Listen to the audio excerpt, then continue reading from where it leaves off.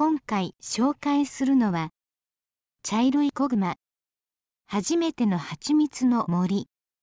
という本です。子熊ちゃんが好きなので購入しました。可愛いだけの本かと思ったらお友達との出会いがしっかり書かれていたりしてお話に引き込まれてしまいました。大人でもうるっとくる場面もあって隅っこ暮らし映画といい 3X さんのお話は子供向けと侮ったらびっくりします。グッズとして手元に置いておきたくて購入しましたが今日1日で3回読み返しました。また読み返したくなると思うので先の方も書かれているように電子でも購入検討します。買ってよかった一冊です。可愛いだけじゃなかった。コグマファンの私にとっていろんな意味で最高でした。コグマちゃんの世界観どうなってるのかな？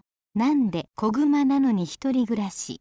とかいろいろな疑問が解決できます。内容に関しては最初からかなりグッときてしまい結局3回に分けて読みましたが読み終わる頃には涙が止まりませんでした。可愛すぎ切ないところがいっぱいあっていつでも読めるようにオンラインでも購入しましたがしばらくはお家以外では読めなさそうです。可愛いだけでも十分だったのにこぐまちゃんのこぐまちゃんらしさがいっぱいあって何回も読み返したくなりました。編集に関わった方々本当に素敵な本ありがとうございました。自作も読みたいのでお願いします。以上。